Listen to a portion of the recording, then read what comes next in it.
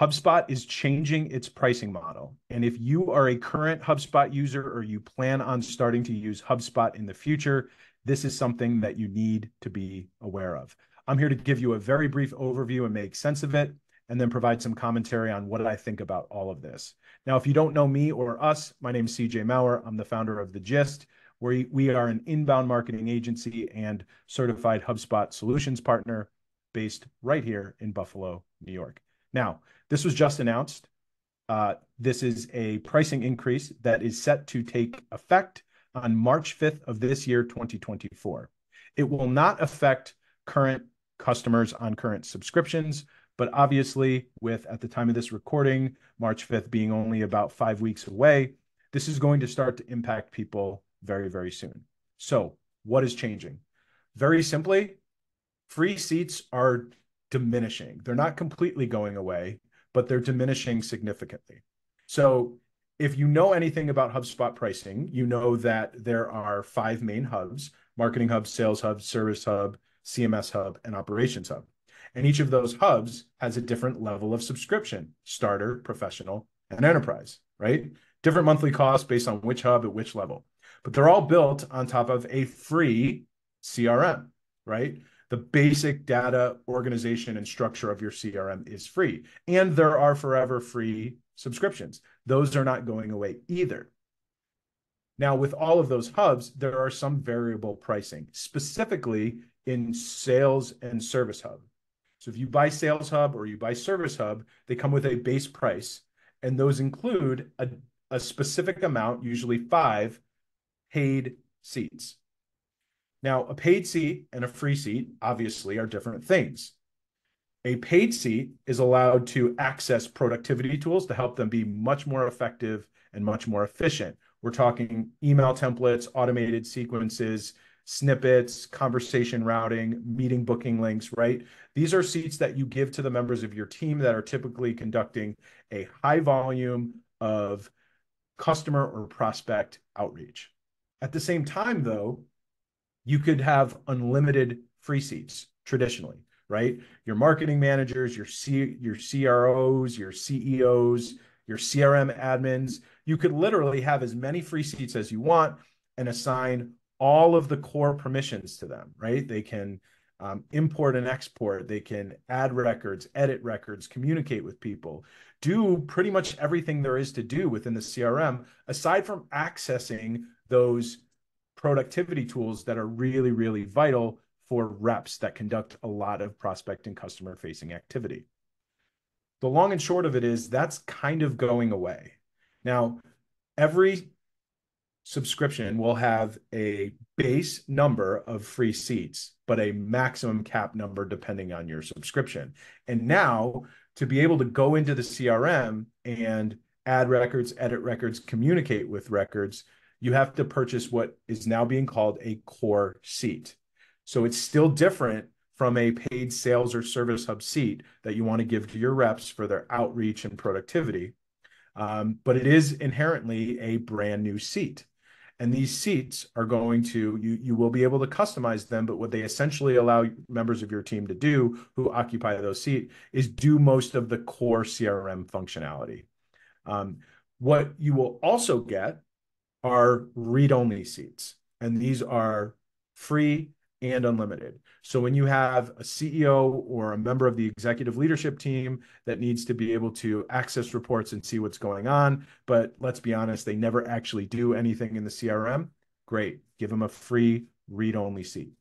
So obviously this is going to impact pricing because I can think of clients off the top of my head where they have marketing reps or even other people on their sales and service team who use the tools, like maybe use deal pipelines and ticket pipelines, but don't really conduct a whole bunch of outward facing communication to warrant a paid seat. So they've just been getting away just fine on free seats. But if they have to update deals and leave notes and records and email people, you will need to now purchase a seat for them. And that's not an expense that you have been used to paying.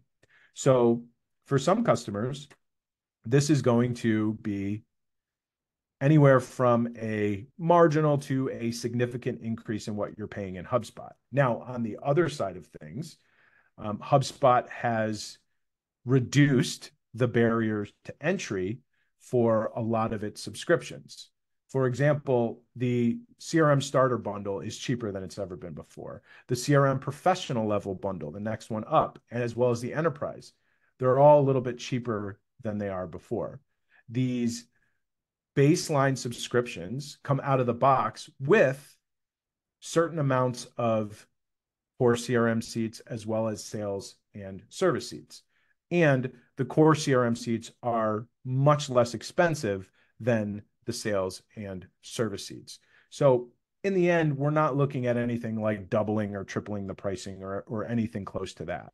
And I think when all is said and done, when you consider some of the lower barriers to entry, I don't think it's going to necessarily represent um, significant price increases off the board. In fact, there may be customers that actually save money uh, with their HubSpot subscription. Now, this is just conjecture, speculation. A lot of that remains to be seen, right? This news was just announced, and we haven't really had time to pull up a pricing calculator and make some comparisons. But as somebody who's lived in HubSpot every day for eight years, um, this is what I can tell you I, I, think is, is likely going to happen. Um, why is HubSpot doing this, by the way? Uh, they, they were nice enough to provide a little bit of information to us partners uh, shortly in advance of the announcement. One of the things that they mentioned is that um, they want their pricing to be more tied to value, specifically up market, right?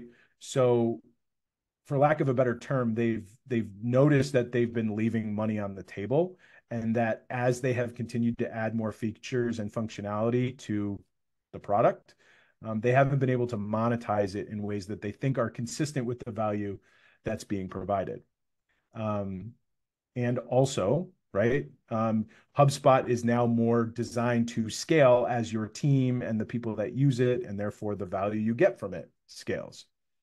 The good news is for smaller businesses, you know, and I'm not just talking startups, I mean, probably under 100 employees, the barrier to entry is going to be lower. It will be easier and cheaper to access more features out of the gate, um, especially if your team is small. So, again, I want to stress that there is a lot of positive from this as well. As far as how I feel about it overall, I think I'm mostly neutral to it although I am leaning towards being on the positive side about it. I will admit, as a HubSpot Solutions partner, I have loved having conversations with my clients and letting them know that they can have unlimited free seats. So their marketing coordinators and their sales and service admins who are kind of supporting those outward facing teams, they don't have to pay for their seats, right? They're getting functionality out of the box and as many people can come in and be admins, work deals, work tickets, create content, do whatever they want to do. Um, again, that's unfortunately not going to be the case now. But when you consider some of the reductions in cost and the lower barriers to entry and still the ability to retain free view only seats, I don't think the change is going to be very seismic. But I will set the expectation that as your team grows and scales and more and more people are going to be using HubSpot, what you pay to HubSpot will likely scale alongside with it. Maybe not directly proportional, uh, but certainly more than it has been up to this point. Um, as I mentioned before, we work with dozens of companies, primarily in the B2B space and specifically in the HR industry, although we work with a lot um, in, in, across the board in B2B industries. We're constantly helping people get migrate to HubSpot, um, adopt a CRM for the first time, or come in and get the most value out of HubSpot if you've had it for a couple of years and you know, you know, we really just haven't been getting the value out of this that we know we can. That's what we do. And we have some other like marketing, inbound marketing and sales enablement services on top of that. But you know, optimizing and evangelizing your CRM is is one of our core services. So um, we're we're constantly having conversations with with customers and partners and prospects about this. So if you have any questions, if you want to test some use cases, maybe you want to figure out what this means for you when your renewal is coming up, uh, please reach out. Um, I will offer some some times to schedule a, a meeting on my calendar, and would love to walk you through uh, the the pricing increase or the price change, price model change in more detail, and answer any questions that you may have. Thanks.